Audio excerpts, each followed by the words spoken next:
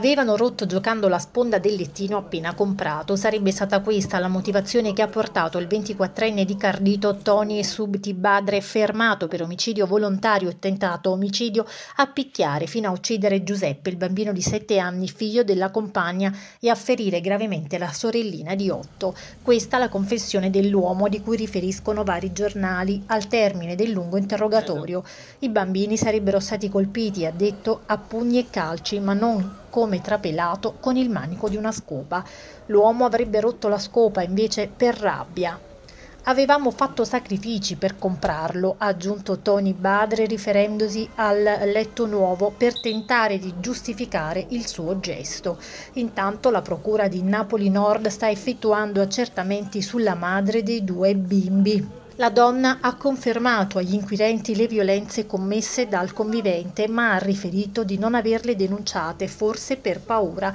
È su questa circostanza decisiva che la Procura vuole vederci chiaro e non è improbabile che la donna possa essere iscritta nel registro degli indagati per non aver fatto nulla per impedire il pestaggio.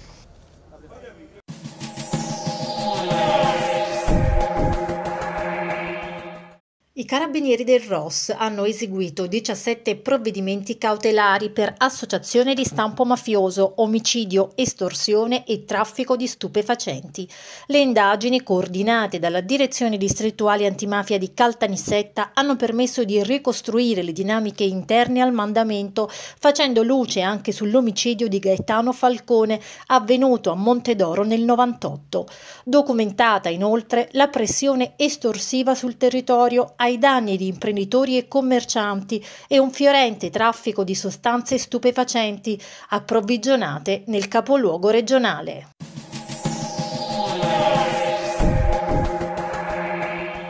Visita napoletana del presidente della Camera Roberto Fico intervenuto all'incontro Natura e benessere nel progetto degli spazi pubblici contemporanei. La sinergia tra le istituzioni sia locali sia nazionali ma anche con altre istituzioni come le università pubbliche possono creare con i cittadini e con i comitati possono creare un lavoro di grande qualità di rigenerazione urbana e Napoli per me può essere proprio la capitale di una nuova rigenerazione urbana, di nuovi modelli di partecipazione, nuovi modelli di sviluppo sviluppo anche rispetto al nuovo flusso turistico che noi stiamo vivendo di cercare di riuscire ad avere una grande opportunità rispetto al turismo ma gestirlo in una forma che riesca a valorizzare l'identità di Napoli, Napoli e i cittadini napoletani.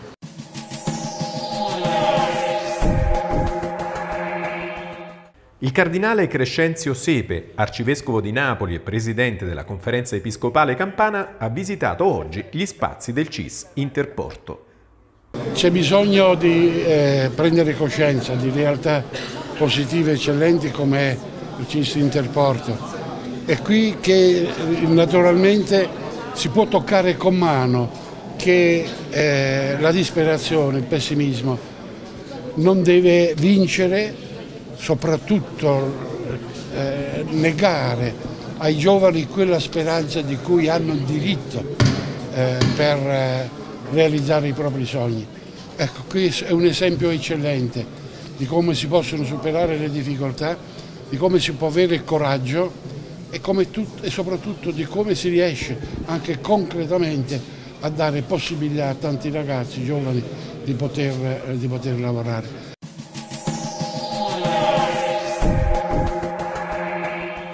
Controlli a tappeto della Polizia Municipale a Napoli contro i parcheggiatori abusivi nei pressi delle stazioni ferroviarie, aeroportuali, marittime e delle fermate degli autobus.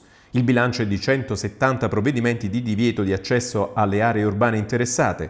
Inoltre sono state emesse dalle forze dell'ordine 106 denunce nei confronti di chi è stato sorpreso mentre parcheggiava nelle aree che erano state loro vietate, in quanto già destinatari di provvedimenti di divieto di accesso.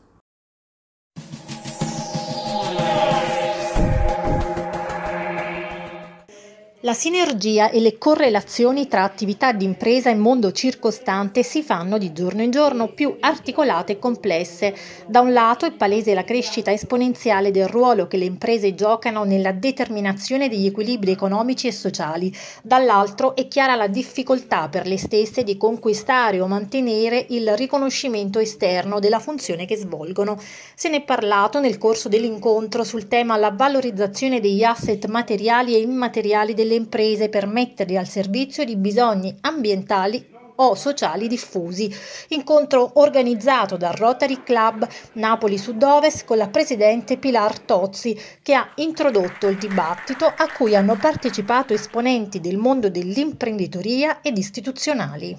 Siamo in una situazione sempre difficile perché sono note le, le contraddizioni che attraversano il mezzogiorno d'Italia, in particolare il nostro territorio e per cui tutto ciò che può aiutare le imprese a crescere, a produrre occupazione, reddito e quindi benessere e quindi consentire alle stesse di rendere un servizio, di assumere delle responsabilità anche di carattere sociale, Ben, ben, venga. L'impresa è sempre più coinvolta eh, non soltanto nel eh, raggiungimento di quelli che sono i suoi obiettivi e quindi di eh, guadagno, ma sempre più eh, viene mm, svolto il suo ruolo eh, economico eh, nella società non solo attraverso la tutela dell'ambiente, dei dipendenti, dell'antinfortunio, ma anche da un punto di vista di eh, ehm, sviluppo di un'organizzazione uh,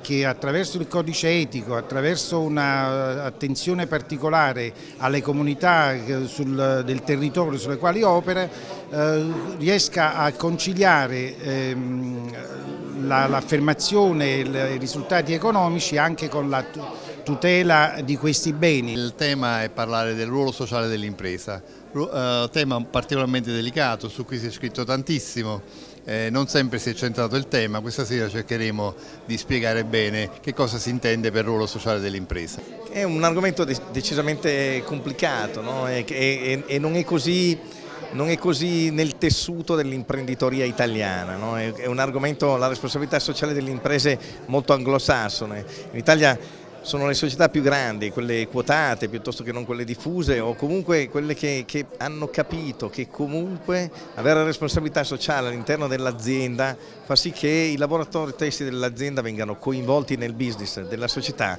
e quindi sia un apporto positivo al bilancio globale della società stessa. Un'impresa che opera in un contesto socio-economico solido e contribuisce a fertilizzarlo implementandolo acquisisce innanzitutto un vantaggio competitivo, ha spiegato Pilar Tozzi, e mette in pratica un rapporto in cui tutti sono vincenti.